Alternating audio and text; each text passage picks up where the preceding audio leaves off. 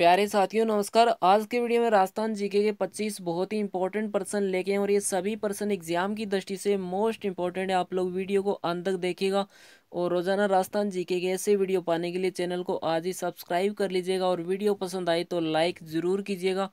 पहला क्वेश्चन आपके सामने है, राजस्थान के वह कौन से लोक देवता है जिनको हिमाचल प्रदेश में बालकनाथ के रूप में पूजा जाता है? बहुत इंपॉर्टेंट पर्सन है, जल्दी से आप लोग आंसर दीजिएगा। कि कौन से लोक देवता है जिनको हिमाचल प्रदेश में बालकनाथ के रूप में पूजा जाता है? तो सही उत्तर रहेगा option C Roopnath ji. Question number two की बात करते हैं। राजस्थान के कौन से लोक देवता जिनकी मूर्तियाँ मिट्टी और पत्थर की नहीं होती, बल्कि लकड़ी का एक तोरण होता है? बहुत इंपॉर्टेंट प्रश्न है। जल्दी से आप लोग आंसर दीजिएगा कि कौन से लोक देवता है जिनकी जो मूर्ति है वो मिट्टी और पत्थर की नहीं होती, बल्कि लकड़ी की होती है? तो हरिराम जी, मामा देव, जम्बो जी या बहुता जी, जल्दी से आप लोग आंसर दीजिएगा। इंपॉर्टेंट पर्सन है। तो सही उत्तर रहेगा option B Mama Dev. Question number three की बात करते हैं। राजस्थान में मुम्बल लोकगीत किस क्षेत्र की राजकुमारी के जीवन पे आधारित है? बहुत इंपॉर्टेंट प्रश्न है। मुम्बल जो लोकगीत है, वो किस क्षेत्र की राजकुमारी के जीवन पे आधारित है? भरतपुर, जैसलमेर, भीलवाड़ा या उदयपुर? तो बिल्कुल ऑप्शन सही उत्तर रहेगा जैसलमेर। क्वेश्चन नंबर फोर की बात करते हैं। राजस्थान का लोकप्रिय गीत पंचड़ा किसके द्वारा रचित है? बहुत इंपॉर्टेंट पर्सन है। आप लोग हर एक क्वेश्चन का आंसर दीजिएगा और वीडियो कहते हैं, ईमानदारी से बताइएगा कि 25 में से आपके कितने सही हुए। इससे आपकी प्रैक्टिस ही हो जाएगी और आपको पता लग जाएगा कि आपकी तैयारी कैसी है। आप लोग हर एक क्वेश्चन का आंसर ज़रूर दीजिएगा। तो राजस्थान का लोकप्रिय गीत पंचड़ा जो रचित है, वो है माणिक्य लाल वर्मा ऑप्शन सी हमारा उत्तर रहेगा।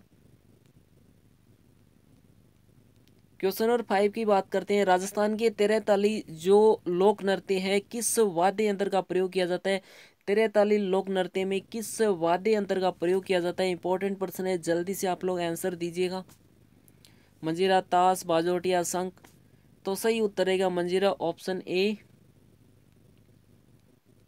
तेरताली लोक नृत्य, राजस्थान का प्रसिद्ध लोक नृत्य, ये कामड़ जाति के द्वारा किया जाता है। किस जाति के द्वारा? कामड़ जाति के द्वारा।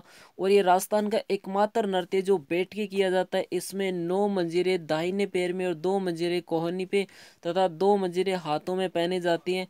इस नृत्य में तेरह प्रकार की कलाएँ की जाती है, ठीक है?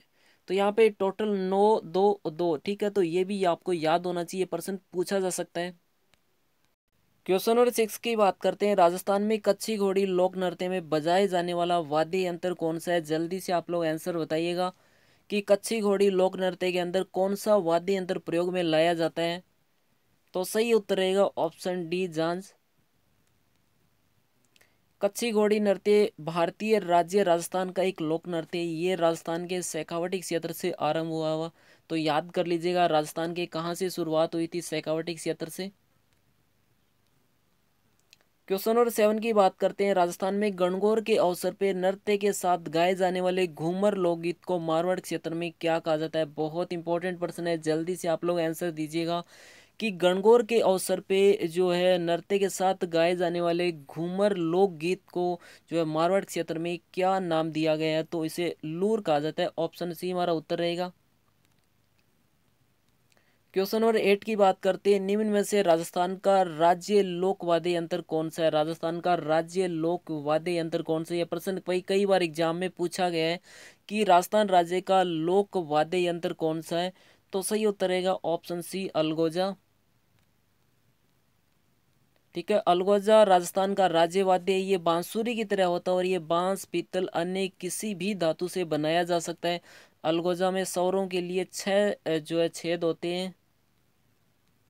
क्वेश्चन नंबर नाइन की बात करते हैं। राजस्थान में प्रसिद्ध संगीतज्ञ एवं विद्वानों की मंडली गंधर्व बाईसी को राज्य के किस शासक ने अपने दरबार में स्थान दिया था? बहुत इंपॉर्टेंट प्रश्न है। जल्दी से आप लोग आंसर दीजिएगा।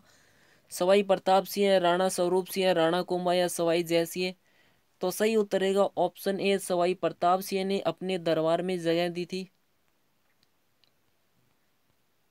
क्वेश्चन नंबर टेन की बात करते हैं। राजस्थान का लोक नायक किसको कहा जाता है? राजस्थान का लोक नायक है, किसे कहा जाता है? जल्दी से आप लोग आंसर दीजिएगा। दामोदर व्यास हरिभाऊ उपाध्याय, जय नारायण व्यास या जमुनालाल बजाज? तो राजस्थान का लोक नायक है, जय नारायण व्यास ऑप्शन सी हमारा उत्तर रहेगा। क्वेश्चन नंबर ग्यारह की बात करें। राजस्थान की सबसे लोकप्रिय मांड गायिका कौन थी? राजस्थान की सबसे लोकप्रिय मांड गायिका कौन थी? तो अल्लाह जिला भाई ऑप्शन बी हमारा उत्तर रहेगा। क्वेश्चन नंबर बारह की बात करते हैं। राजस्थान में जोधपुर ज़िले के बोरुंदा में रूपायन संस्थान का संस्थापक कौन था? बहुत इंपॉर्टेंट पर्सन है। जल्दी से आप लोग आंसर दीजिएगा। और इस तरह के सारे इंपॉर्टेंट क्वेश्चन पाने के लिए चैनल को आज ही सब्सक्राइब कर लीजिए। आपका राजस्थान जी के बहुत अच्छे से कवर हो जाएगा। तो जोधपुर ज़िले के अंदर जो बोरुंदा में रूपायन संस्थान है, उसके संस्थापक कोमल कोठारी ऑप्शन सी हमारा उत्तर रहेगा। क्वेश्चन नंबर तेरह की बात करें, राजस्थान में रूपायन संस्थान बोरुंदा जोधपुर की स्थापना कब हुई थी? अब आपको बताना है कि इसकी स्थापना कब हुई थी, किस सन में हुई थी? उन्नीस सौ सत्तावन, उन्नीस सौ पचास, उन्नीस सौ अठहत्तर या उन्नीस सौ साठ? तो इसकी स्थापना हुई थी उन्नीस सौ साठ में, ऑप्शन डी हमारा उत्तर रहेगा। क्वेश्चन नंबर चौदह की बात करें, राजस्थान के राजपुताने का प्रसिद्ध लोकगीत जिसमें ऊँट के श्रृंगार का वर्णन मिलता है। जल्दी से आप लोग आंसर बताइए। कि किस राजपुताने के प्रसिद्ध लोकगीत जिसके अंदर ऊँट के श्रृंगार का वर्णन मिला है? तो गौरबंद ऑप्शन सी हमारा उत्तर रहेगा। क्वेश्चन नंबर पंद्रह की बात करें, राजस्थान के लोक वाद्य यंत्र टामक राज्य के किस सांस्कृतिक क्षेत्र से संबंधित है?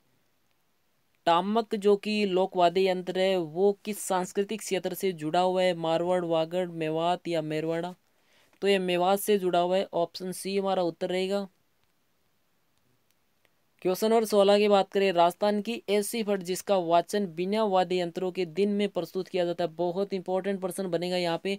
देखिए, एक ऐसी फट जिसका वाचन एक तो बिना वाद्य यंत्रों के होता है और इसका वाचन दिन में भी होता है। दो पर्सन बनेंगे तो वो कौन सी है? जल्दी से आप लोग आंसर दीजिएगा। इंपॉर्टेंट पर्सन है पर्सन को याद कर लीजिएगा।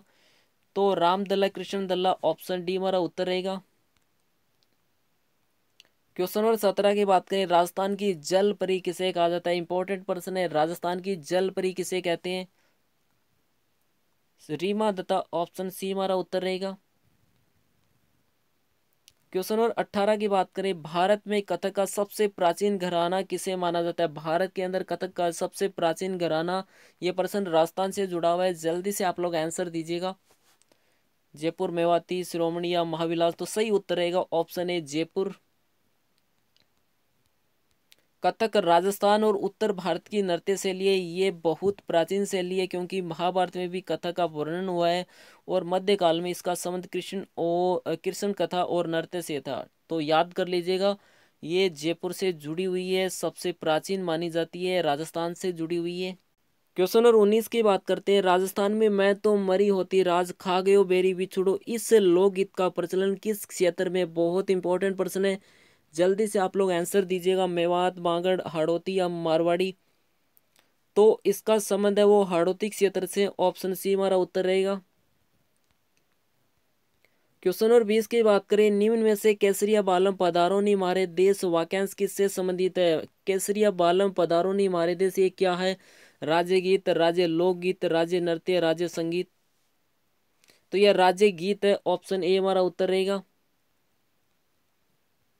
क्वेश्चन नंबर इक्कीस की बात करते हैं, राजस्थान का कबीर किसको कहा जाता है? राजस्थान का कबीर किसे कहा जाता है? जल्दी से आप लोग आंसर बताइएगा, राजस्थान का कबीर किसे कहते हैं? तो दादू दयाल को राजस्थान का कबीर कहा जाता है ऑप्शन सी हमारा उत्तर रहेगा। क्वेश्चन नंबर बाईस की बात करते हैं, राजस्थान की राधा किसे कहा जाता है? राजस्थान की राधा किसे कहते हैं? मीराबाई, गौरीबाई, विद्याबाई, जियाबाई। तो मीराबाई को राजस्थान की राधा कहा जाता है ऑप्शन ए हमारा उत्तर रहेगा। क्वेश्चन नंबर तेईस की बात करते हैं। राजस्थान में कामण गीत क्यों गाए जाते हैं? राजस्थान के अंदर कामण गीत क्यों गाए जाते हैं? कारण आपको बताना है किस मौके पे, किस अवसर पे गाए जाते हैं।